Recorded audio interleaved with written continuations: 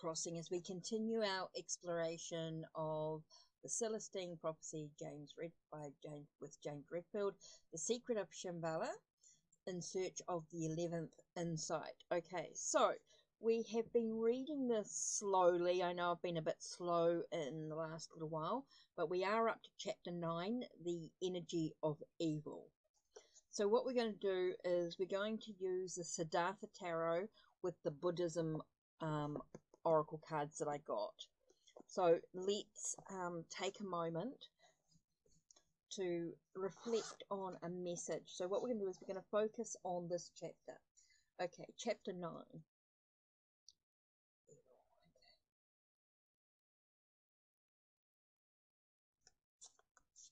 Whoa, okay, so cards just flew. Let me just give, give me a second to pick this up. Okay, the first card we have is Two of Pentacles. So Two of Pentacles tells me there's a lot of energy, there's a lot of stuff that needs to be juggled. Okay, there is a lot of juggling going on here. Working out what one's priorities are. Whoops, and the keyboard I just dropped. Really clever for it. Do not want to break that. Okay, the other card we got, oh, Three of Pentacles flew out in the other direction. Okay, so that's kind of interesting. So, Three of Pentacles is about using your skills and your abilities. So, it's quite interesting. One step at a time is a reminder here to take a minute when you're juggling something to use your skills and your abilities to manifest or create what's super important to you at this time.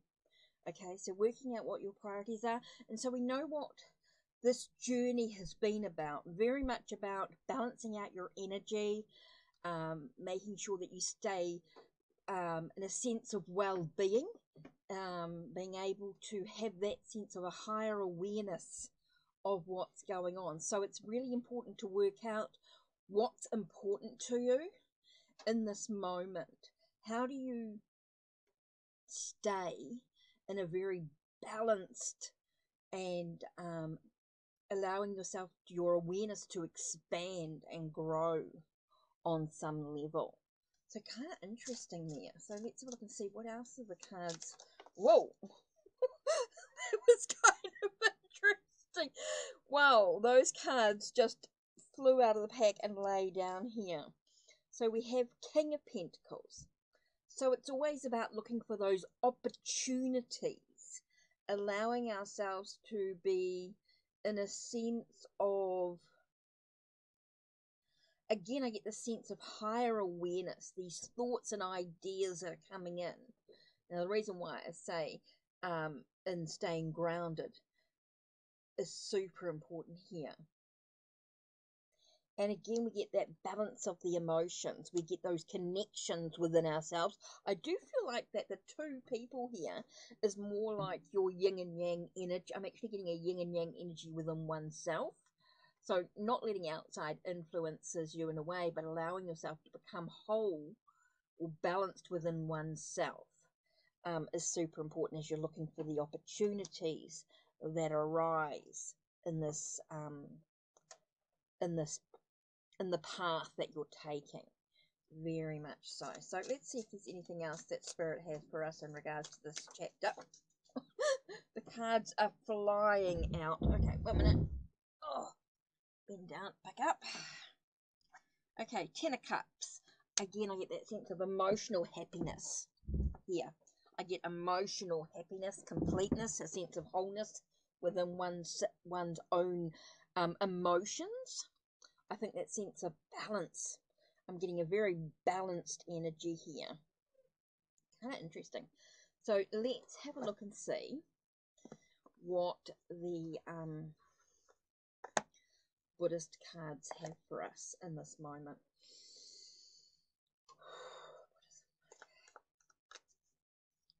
Take a moment to shuffle. I'll move the cards around just Whoa, okay. Whoa, whoa, whoa, whoa, whoa, whoa.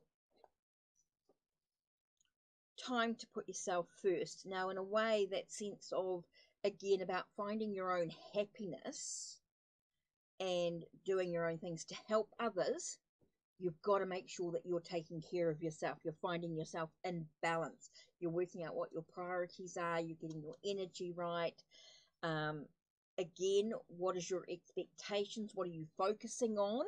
Is kind of important. And I'm not getting too much about what the card actually says, but I'm getting a sense of really about visualization on expecting your own body to be at peace within oneself, being able to visualize the positive energy that's going on. And I get a sense of um, I get the sense, I know the card says limitation, but I'm getting a sense of being able to break through from any obstacles, know that you are unlimited. Okay, so I'm getting, when I'm reading these cards here, I'm getting the sense of it's very important for yourself to be able to visualize yourself unlimited, that anything is absolutely possible in the positive way. You know, see that positive energy coming in. Know that you that anything is possible when you stay balanced, stay whole within oneself. What an interesting message there. I love that. Okay, so let's continue with this chapter 9 that we are up to the energy of evil. Okay, so no sooner had we walked out of the bedroom than the sounds of the helicopters in the distance increased. Ani came back into the house and pulled out three heavy backpacks from a storage bin. She handed them to us, along with two parkas. I noticed that they seemed to have been conventionally made with cloth and stitching. I was about to ask about them, but she quickly ushered us out of the dwelling and led us down the path to our left. As we walked, Ani moved up beside Tashi, and I could hear him telling her about his decision to go to the temples. The rumblings from the helicopters were coming even closer, and the blue sky had now turned into a thick overcast. At one point, I asked her where we were heading. To the caves, she said. You'll need some time to prepare. We walked down a rocky path which traversed the side of a sheer cliff and onto a plateau on the other side. Here Ani waved us into a small gully where we huddled listening. The helicopters moved in a small circle over the cliffs for a moment and followed our path exactly until they were directly over us. Ani looked horrified. What's happening? I yelled. Without answering, she climbed out of the gully and motioned for us to follow. We ran perhaps half a mile across the plateau and into another hilly area, then stopped and waited as before. The helicopters circled behind us until they arrived directly overhead. A gust of frigid air hit us, almost knocking me over. At the same time, all of the clothes disappeared from our bodies except for the heavy coats. I thought this might happen, Ani said, pulling more clothes from the backs. I still had my boots on, but Tashi's and Ani's had disappeared. She gave him a pair of leather and put on her, another herself. When we finished, we made our way up the slope, climbing between the rocks until we arrived at a flatter area. A heavy snow shower was beginning and the temperature was falling. The helicopters seemed to have lost their way for a moment. I looked out on the once green valley. Snow had covered almost everything, and the plants already seemed to be withering from the cold. It's the effect of the soldiers' energy, Ani said. It is destroying our environmental field. Glancing towards the sound of the helicopters, I felt a new surge of anger that banked immediately and stepped and headed straight towards us. Let go, Ani shouted. I moved up. Let's go, Ani shouted. I moved up closer to the small fire, feeling the morning chill. We had walked for another hour and spent the night in a small cave. In spite of several layers of insulated undergarments, I was still freezing. Tashi was now huddled up beside me, and Ani was looking out through the opening at the frozen world outside. The snow had been falling for hours. All gone now, Ani said. There's nothing out there now but ice. I moved over to the opening and looked out. What was once a wooded valley with hundreds of dwellings was now nothing but snow and jagged mountains. Here and there were the bent over remains of trees, but not a spot of colour could be seen. All the houses had simply vanished, and the river that ran through the centre of the valley was frozen over. The temperature must have fallen sixty degrees, Ani, Ani added. What happened? I asked. When the Chinese found us, the power of their thoughts and their expectations of frigid weather counteracted the field that we had set up to keep the temperature moderate.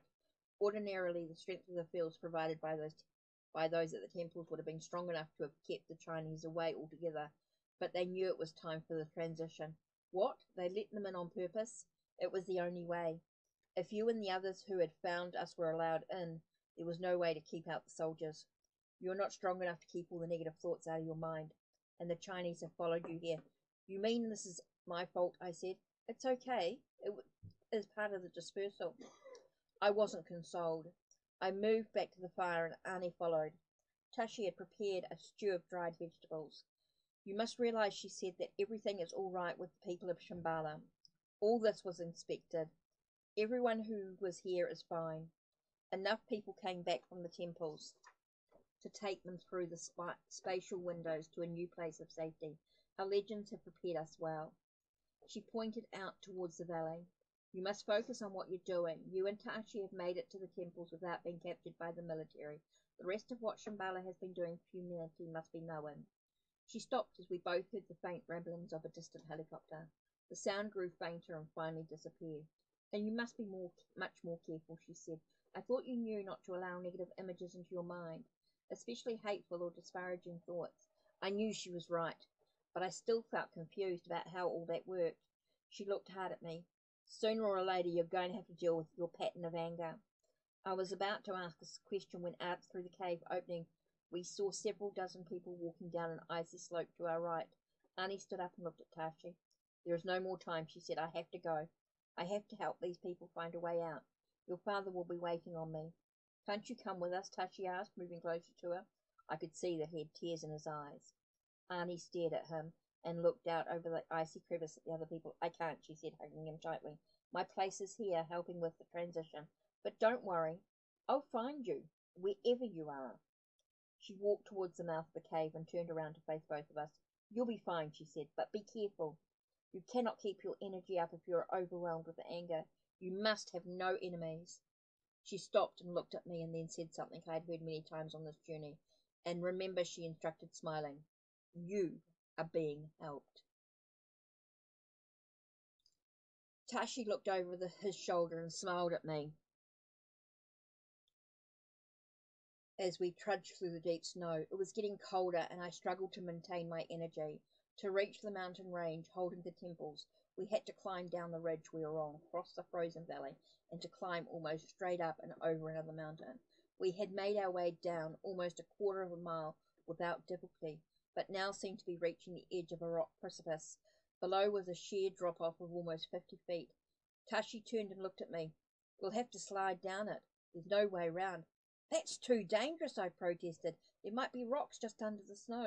If we start sliding out of control, we could be hurt. My energy was plummeting. Tashi smiled nervously. It's okay, he said. It's okay to be afraid. Just maintain your visualization of a positive outcome. Fear will actually bring the Dakini closer. Wait a minute, I said. No one ever mentioned that before. What do you mean?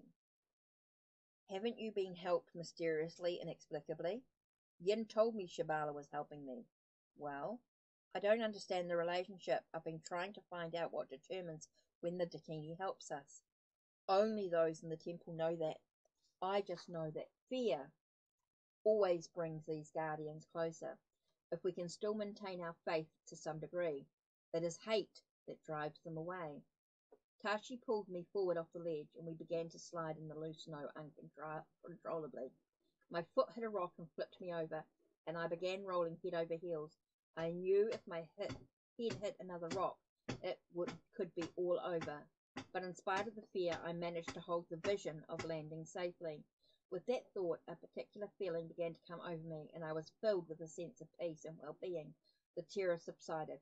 Moments later, I hit the bottom of the drop-off and, and rolled to a stop. Tashi slammed into my back. I lay for a moment with my eyes closed. I opened them slowly, remembering other dangerous situations in my life when an inexplicable peace had come over me. Tashi was pulling himself out of a snowbank, and I smiled over at him. What? he asked. Someone was here.